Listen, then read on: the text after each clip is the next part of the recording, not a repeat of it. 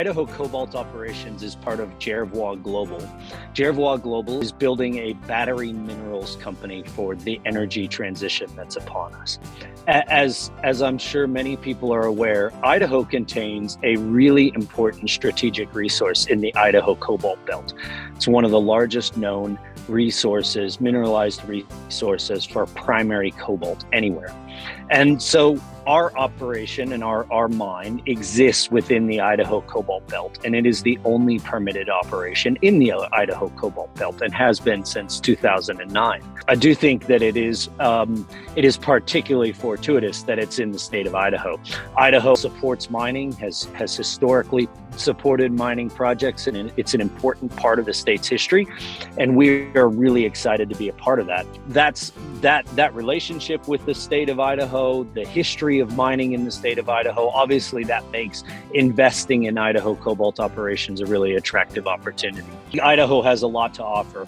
You know, as we've brought this project on over the past 12 months, it has been remarkably easy to recruit and to attract people into the Idaho region. And the way I see it is that's in a number of different ways that people are interested in coming into Idaho.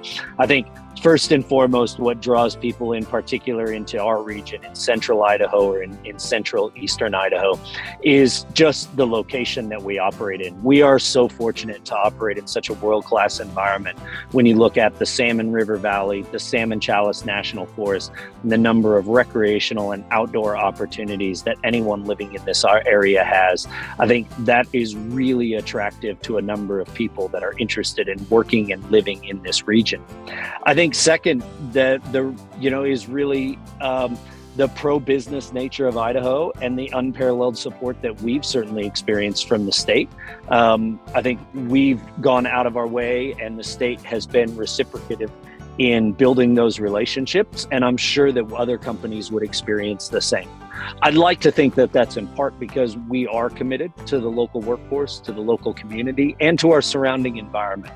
Though we are privileged to operate in such a world class ecosystem that has amazing recreational opportunities, and we take that we take that responsibility and the privilege that we've been granted really seriously.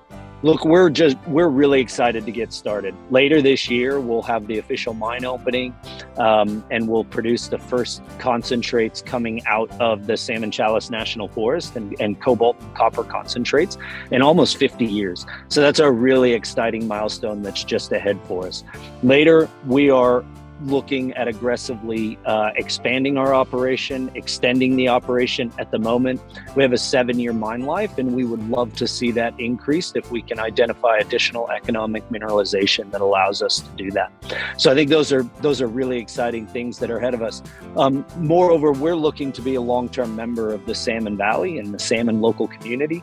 This is an area that we want to operate in for as long as possible, um, and that will obviously be governed by what what Mother Nature nature allows in terms of the, the mineralization that's there and the, the uh, cobalt that we're able to economically extract.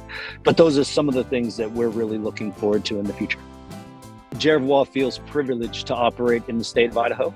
We really enjoy the relationship that we have with the state of Idaho, and, and we hope to continue invest in the region.